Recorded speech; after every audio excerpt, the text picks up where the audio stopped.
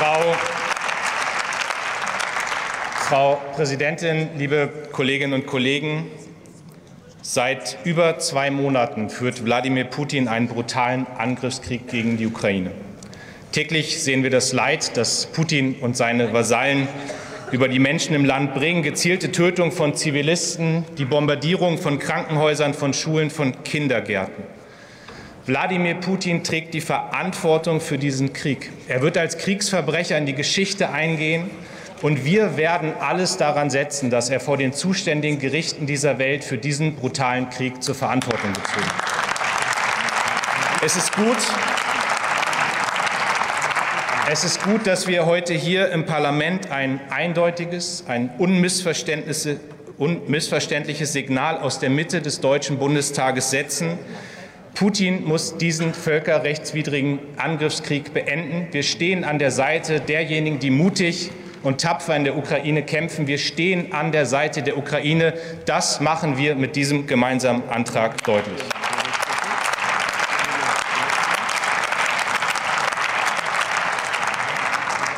Herr Merz, mir war wichtig, diesen Punkt am Anfang meiner Rede zu nennen.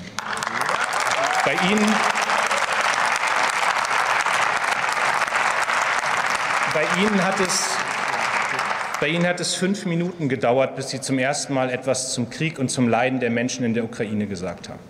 Und ich habe hier eigentlich auf meinem Zettel draufstehen, ich habe hier eigentlich auf meinem Zettel draufstehen, Dank an die Union.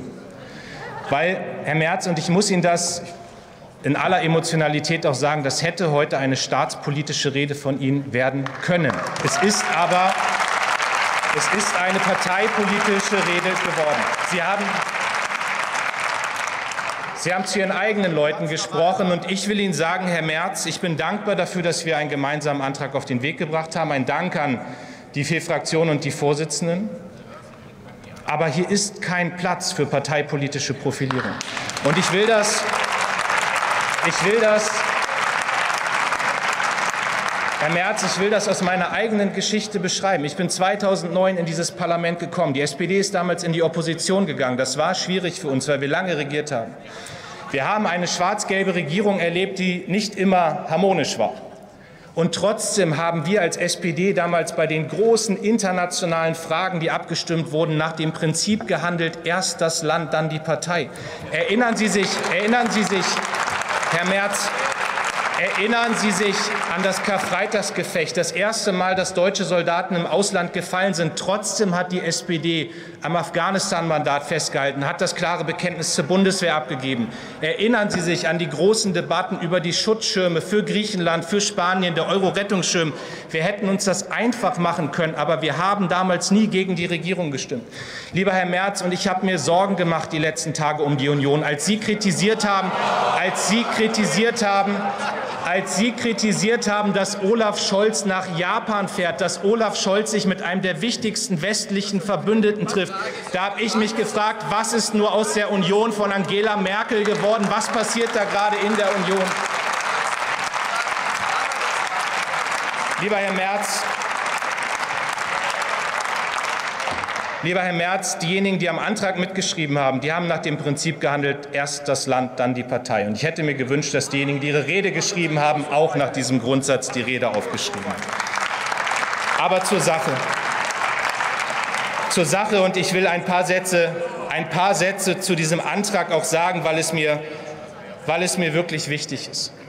Dieser Antrag stützt das Handeln der Bundesregierung. Diese Regierung handelt, sie liefert, sie führt und ich will das an dieser Stelle auch sagen, weil Antragsberatungen, Antragsberatungen auch ein Moment sind, wo man mal Danke sagen kann. Die Vertreterinnen und Vertreter in der Bundesregierung haben Entscheidungen zu treffen von einer Reichweite für die nächsten 10, 15, 20 Jahre, von einer Tragweite, die über Leben und Tod geht. Es sind Entscheidungen, die man sich nicht einfach macht in der Regierung, und ich will stellvertretend hier Nancy Faeser, Christian Lindner, Annalena Baerbock, Christine Lambrecht, Robert Habeck und vor allem Bundeskanzler Olaf Scholz danken für das, was wir in den letzten Wochen an guter Führung durch die Bundesregierung gemeinsam erlebt haben. Und weil ich Und weil ich in den letzten Tagen ja viel auch an Bewertung der Bundesregierung gelesen habe, übrigens, ich empfehle mal die aktuelle Ausgabe der Time, ähm, da kriegt man mal einen Überblick, auch wie Deutschlands Rolle in der Welt gesehen wird. Lassen Sie uns mal auf die Fakten schauen. Fakt 1. Deutschland hat mit den Partnern Sanktionen vorbereitet und setzt diese massiv durch. Selten gab es ein so großes, umfassendes Sanktionspaket wie jetzt gegen Russland. Russland wird ökonomisch abgekoppelt von den internationalen Märkten und wird das über einen langen Zeitraum bitter zu spüren bekommen, was die Konsequenzen dieser Sanktionen sind. Fakt zwei. Deutschland reduziert die Abhängigkeit von russischem Gas und russischem Öl. Und das tun wir in einem größeren Tempo, als es im Koalitionsvertrag schon angelegt war. Und ich bin dankbar dafür, dass wir das gemeinsam jetzt in aller Entschiedenheit auch täglich tun.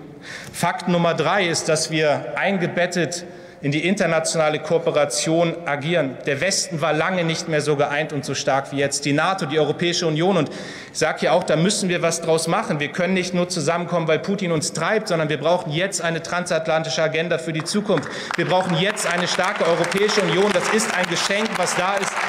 Aber es ist das Handeln der Bundesregierung. Und ja, Deutschland liefert Waffen. Diese Bundesregierung hat mit einem Prinzip gebrochen, das über Jahrzehnte in Deutschland galt. Wir liefern seit dem Beginn des Krieges und wir sind jeden Tag einen Schritt weitergegangen in der Qualität, in der Quantität dessen, was wir tun.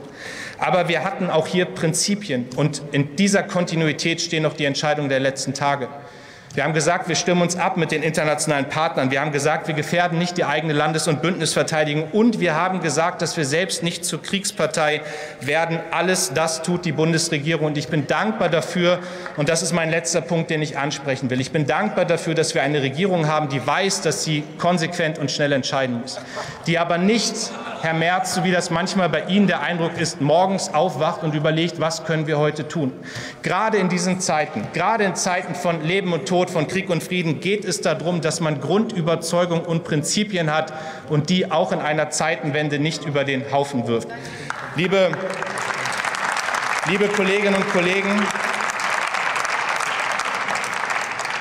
Trotz aller parteipolitischer Differenzen will ich das hier am Ende noch mal betonen. Es ist richtig und wichtig, dass es hier aus der Mitte des Parlaments ein klares Signal an Wladimir Putin, ein klares Signal an die Menschen in der Ukraine gibt, dass wir auf der richtigen Seite der Geschichte als Deutscher Bundestag stehen.